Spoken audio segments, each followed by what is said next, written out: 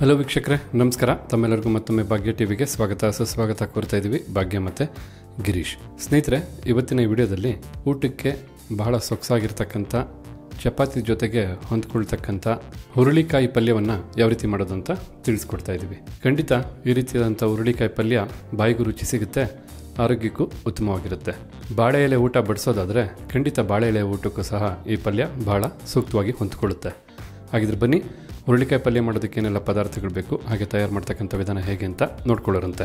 ಹುರುಳಿಕಾಯಿ ಪಲ್ಯ ಮಾಡೋದಕ್ಕೋಸ್ಕರ ಮೊದಲಿಗೆ ಸ್ಟವ್ ಮೇಲೆ ಒಂದು ಕುಕ್ಕರ್ನ ಇಟ್ಟಿದ್ದೀವಿ. ಕುಕ್ಕರ್ಗೆ ಈಗ ಅರ್ಧ ಕೆ ಜಿಯಷ್ಟು ಹುರುಳಿಕಾಯನ್ನು ಈ ರೀತಿ ಚಿಕ್ಕದಾಗಿ ಕಟ್ ಮಾಡಿ ನೀಟಾಗಿ ತೊಳೆದು ತದನಂತರ ಕುಕ್ಕರ್ಗೆ ಹಾಕ್ಕೊಳ್ತಾ ಇರ್ತಕ್ಕಂಥದ್ದು.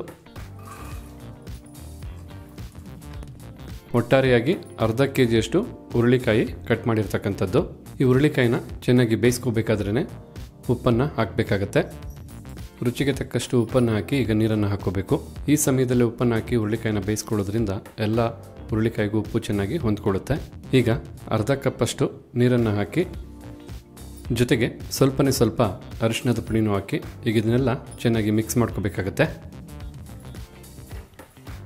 ಉಪ್ಪು, ನೀರು ಎಲ್ಲ ಚೆನ್ನಾಗಿ ಬೆರೆಯೋ ಹಾಗೆ ಮಿಕ್ಸ್ ಮಾಡ್ಕೋಬೇಕು. ಈಗ ಇಲ್ಲಿ ಎಲ್ಲ ಪದಾರ್ಥಗಳು ಚೆನ್ನಾಗಿ ಬೆರೆಯೋ ಹಾಗೆ ಮಿಕ್ಸ್ ಮಾಡಾಯಿತು.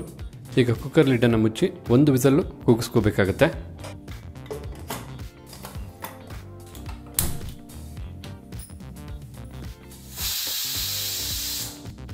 ಈಗ ಕುಕ್ಕರ್ ಒಂದು ವಿಸಲ್ ಕೂಗಾಯಿತು, ಫ್ಲೇಮನ್ನು ಆಫ್ ಮಾಡ್ಕೊಳ್ಳೋಣ. ಕುಕ್ಕರು ಕಂಪ್ಲೀಟ್ ಆಗಿ ತಣ್ಣಗಾಗಬೇಕು. ಈ ಸಮಯದಲ್ಲಿ ಪಲ್ಯಕ್ಕೆ ಬೇಕಾದಂಥ ಮಸಾಲಾನ ಸಿದ್ಧ ಮಾಡ್ಕೋಬೇಕಾಗತ್ತೆ. ಪಲ್ಯಕ್ಕೆ ಬೇಕಾದಂಥ ಮಸಾಲ ಸಿದ್ಧ ಮಾಡೋದಕ್ಕೋಸ್ಕರ ಈಗ ಇಲ್ಲೊಂದು ಮಿಕ್ಸಿ ಜಾರ್ನ ತೊಗೊಂಡಿದ್ದೀವಿ.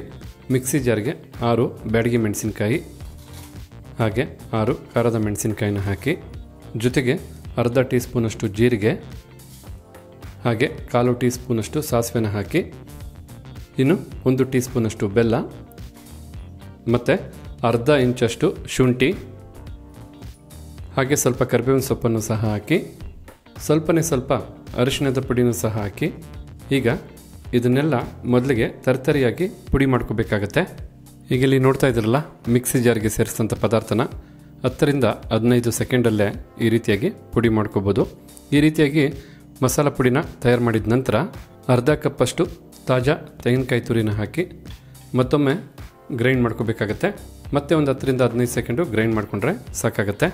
ಈಗ ಇಲ್ಲಿ ತಾವು ನೋಡ್ತಾ ಇರ್ಬೋದು, ತೆಂಗಿನಕಾಯಿ ತುರಿನ ಸೇರಿಸಾದ ನಂತರ ಈ ಒಂದು ಹದಕ್ಕೆ ಚೆನ್ನಾಗಿ ಬರೆಯೋ ಹಾಗೆ ಗ್ರೈಂಡ್ ಮಾಡಾಯಿತು. ಈ ಪದಾರ್ಥಗಳನ್ನ ಚೆನ್ನಾಗಿ ಮಿಕ್ಸಿ ಮಾಡಿದಂಥ ಇವತ್ತಲ್ಲಿ ಕುಕ್ಕರು ಸಹ ತಣ್ಣಗಾಗಿದೆ. ಈಗಿಲ್ಲಿ ಹುರುಳಿಕಾಯಿ ಬಹಳ ಸೊಗಸಾಗಿ ನೀಟಾಗಿ ಬೆಂದಿದೆ. ಈ ಕುಕ್ಕರ್ಲಿರ್ತಕ್ಕಂಥ ಹೆಚ್ಚುವರಿ ನೀರನ್ನು ಬೇರ್ಪಡಿಸ್ಕೋಬೇಕಾಗತ್ತೆ.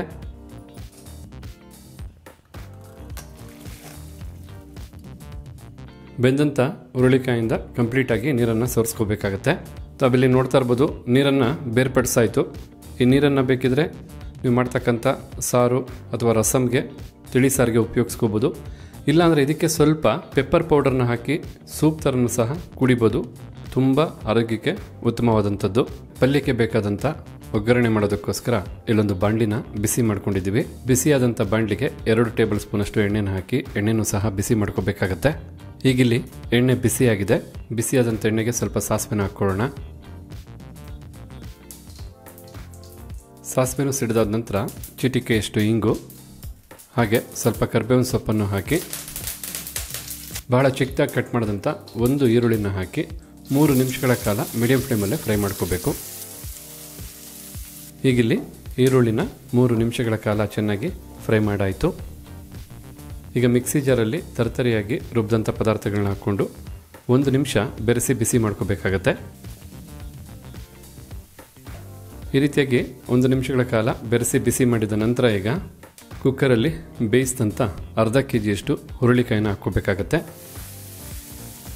ಈಗ ಲೋ ಫ್ಲೇಮಲ್ಲೇ ಎರಡು ನಿಮಿಷ ಚೆನ್ನಾಗಿ ಬೆರೆಸ್ತಾ ಬಿಸಿ ಮಾಡ್ಕೋಬೇಕಾಗತ್ತೆ. ಆಲ್ರೆಡಿ ಹುರುಳಿಕಾಯಿ ಬಹಳ ಚೆನ್ನಾಗಿ ಬೆಂದಿದೆ. ಬಟ್ ಎರಡು ನಿಮಿಷ ಈ ರೀತಿ ಬೆರೆಸ್ತಾ ಬಿಸಿ ಮಾಡ್ಕೊಳ್ಳೋದ್ರಿಂದ ಕಂಪ್ಲೀಟಾಗಿ ಖಾರ ಎಲ್ಲ ಹುರುಳಿಕಾಯಿಗೂ ಹೊಂದ್ಕೊಳ್ಳುತ್ತೆ, ಅಂದರೆ ಚೆನ್ನಾಗಿ ಹಿಡ್ಕೊಳ್ಳುತ್ತೆ. ಖಂಡಿತ ತುಂಬ ಸೊಗಸಾದಂಥ ಪಲ್ಯ, ಬಹಳ ಸುಲಭವಾಗಿ ಮಾಡ್ಬೋದಾದಂಥ ಪಲ್ಯ. ರುಚಿಲೂ ಏನೂ ಕಡಿಮೆ ಇಲ್ಲ. ಒಮ್ಮೆ ಈ ರೀತಿಯಾದಂಥ ಪಲ್ಯನ ಮಾಡಿ ನೋಡಿ ಇದು ರುಚಿ ಏನು ಅಂತ ನಿಮಗೆ ತಿಳಿಯುತ್ತೆ. ಎರಡು ನಿಮಿಷ ಚೆನ್ನಾಗಿ ಬೆರೆಸಿ ಬಿಸಿ ಮಾಡಿದ ನಂತರ ನೋಡ್ತಾ ಇರ್ಬೋದು ಹುರುಳಿಕಾಯಿ ಪಲ್ಯ ಸಿದ್ಧವಾಗಿದೆ. ಈಗ ಇದಕ್ಕೆ ಸ್ವಲ್ಪ ಕೊತ್ತಂಬರಿ ಸೊಪ್ಪನ್ನು ಹಾಕೋಬೇಕಾಗತ್ತೆ ಈ ಸಮಯದಲ್ಲಿ ಫ್ಲೇಮನ್ನು ಆಫ್ ಮಾಡ್ಕೊಳ್ಳೋಣ. ಕೊತ್ತಂಬರಿ ಸೊಪ್ಪನ್ನು ಹಾಕಿದ ನಂತರ ಕೊತ್ತಂಬರಿ ಸೊಪ್ಪು ಸಹ ಬೆರೆಯುವಾಗೆ ಮಿಕ್ಸ್ ಮಾಡಿಕೊಂಡ್ರೆ ಸಾಕಾಗುತ್ತೆ. ಕೊತ್ತಂಬರಿ ಸೊಪ್ಪನ್ನು ಚೆನ್ನಾಗಿ ಬೆರೆಸಾದ ನಂತರ ನೋಡ್ತಾ ಇದ್ರಲ್ಲ, ಬಾಳೆ ಎಲೆ ಮೇಲೆ ಬಡಿಸ್ತಕ್ಕಂಥ ಹೋಟ್ಲುಗಳಲ್ಲಿ ಮಿಲ್ಸ್ ಜೊತೆಗೆ ಕೊಡ್ತಕ್ಕಂಥ ಚಪಾತಿಗೆ ಸೂಪರಾಗಿ ಕಾಂಬಿನೇಷನ್ ಆಗ್ತಕ್ಕಂಥ ತಿಳಿಸಾರಿನ ಜೊತೆಗೆ ನಂಚ್ಕೊಳಕ್ಕಾಗ್ತಕ್ಕಂಥ ಹುರುಳಿಕಾಯಿ ಪಲ್ಯ ಬಹಳ ಸೊಗಸಾಗಿ ಸಿದ್ಧವಾಗಿದೆ. ಖಂಡಿತ ನೀವು ಒಮ್ಮೆ ಮಾಡಿದ್ರೆ ಪದೇ ಪದೇ ಮಾಡೇ ಮಾಡ್ತೀರಾ. ಹಾಗಿದ್ರೆ ನೋಡ್ಕೊಂಡ್ರಲ್ಲ, ಯಾವ ರೀತಿಯಾಗಿ ಹುರುಳಿಕಾಯಿ ಪಲ್ಯನ ಬಹಳ ಸಿಂಪಲ್ ಆಗಿ ಬಹಳ ಬೇಗ ತಯಾರು ಮಾಡ್ಕೋಬೋದು ಅಂತ. ಖಂಡಿತ ಇವತ್ತು ನಾವು ಮಾಡಿ ತಿಳಿಸಂತ ಈ ಹುರುಳಿಕಾಯಿ ಪಲ್ಯ ತಮಗೆಲ್ಲರಿಗೂ ಇಷ್ಟ ಆಗಿದೆ ಅಂತ ತಿಳ್ಕೊಂಡಿದ್ದೀನಿ. ಇಷ್ಟ ಆಗಿದ್ರೆ ವಿಡಿಯೋಗೊಂದು ಲೈಕ್ ಮಾಡಿ. ಜೊತೆಗೆ ಈ ರೆಸಿಪಿ ಬಗ್ಗೆ ತಮಗಿರ್ತಕ್ಕಂಥ ಅನಿಸಿಕೆ, ಅಭಿಪ್ರಾಯನ ಖಂಡಿತ ಕಮೆಂಟ್ ಬಾಕ್ಸಲ್ಲಿ ಕಮೆಂಟ್ ಮಾಡೋದನ್ನು ಮರಿಬೇಡಿ.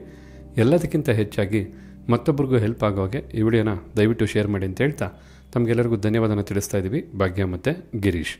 ಮತ್ತೊಂದು ಹೊಸ ವಿಡಿಯೋದಲ್ಲಿ ಹೊಸ ರೆಸಿಪಿ ಜೊತೆ ತಮ್ಮನ್ನ ಭೇಟಿ ಮಾಡ್ತೀವಿ. ಅಲ್ಲಿವರೆಗೂ ನಮಸ್ಕಾರ ವೀಕ್ಷಕರೇ.